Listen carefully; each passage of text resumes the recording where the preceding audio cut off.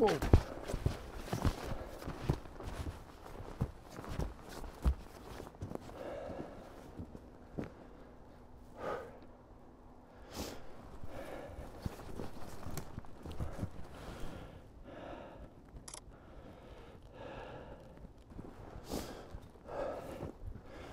Kjempegod kondis. Veldig bra.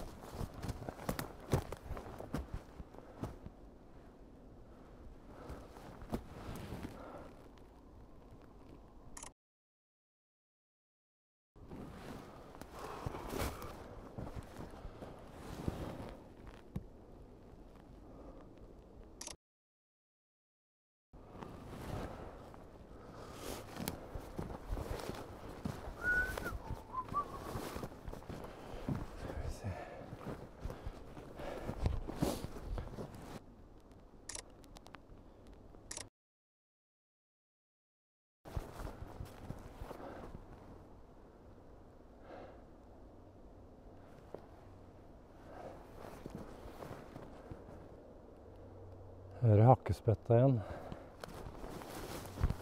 Hvor er den? Der var den. Den er borte.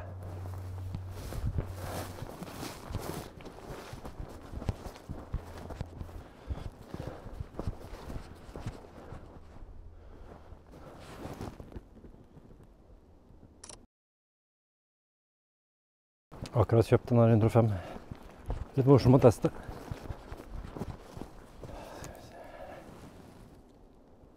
Kanskje den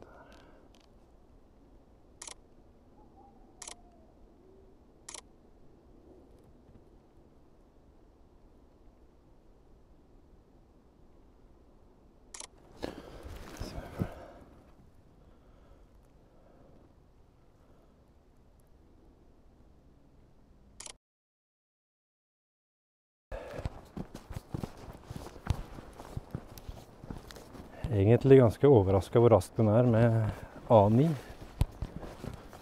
Det er ikke bare litt glass inni her som skal flytte oss på.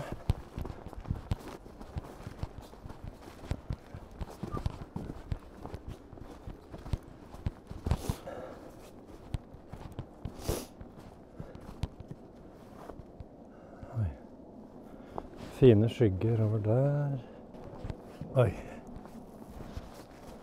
Veldig stille skyer over, eh, over Lifjell. Skal vi se om vi får et bedre bilde av det enn i stad.